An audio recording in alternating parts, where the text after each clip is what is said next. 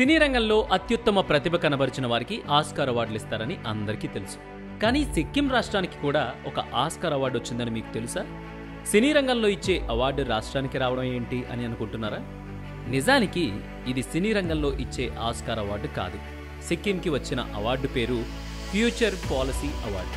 దీనినే Oscar for best policies అని పిలుస్తుంటారు. ప్రపంచంలోనే మొట్టమొదటి ఆర్గానిక్ రాష్ట్రంగా అవతరించడంతో సిక్కిం రెండు వేల పద్దెనిమిదిలో ఈ అవార్డు దక్కించుకుంది.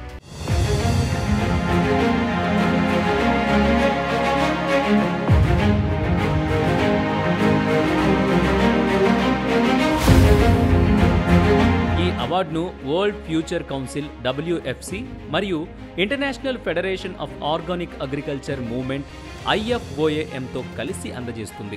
రెండు వేల మూడులో సేంద్రియ వ్యవసాయానికి మద్దతు ఇవ్వడానికి సిక్కిం ప్రభుత్వం ఆర్గానిక్ ఫార్మింగ్ మిషన్ను ప్రారంభించింది.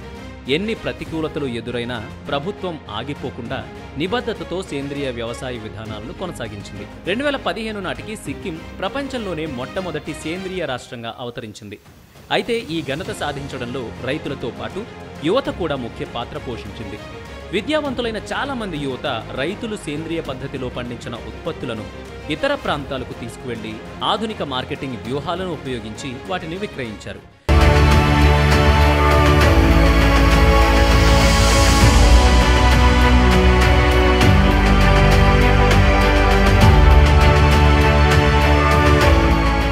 దాదాపు పన్నెండు సంవత్సరాల కృషికి గుర్తింపుగా ఈ ఆస్కార్ ఫర్ బెస్ట్ పాలసీస్ అనే అవార్డు లభించింది. ఈ అవార్డుల నామినేషన్లో మొత్తం యాభై ఒక్క దేశాలు ఉండగా Sikkim future policy award golden అవార్డును దక్కించుకుంది. బ్రెజిల్ డెన్మార్క్ క్విటో మరియు ఈక్వెడార్ దేశాలు రజత అవార్డులను పంచుకున్నాయి. ఇది సిక్కిం రాష్ట్రానికి వచ్చిన ఆస్కార్ అవార్డు స్టోరీ.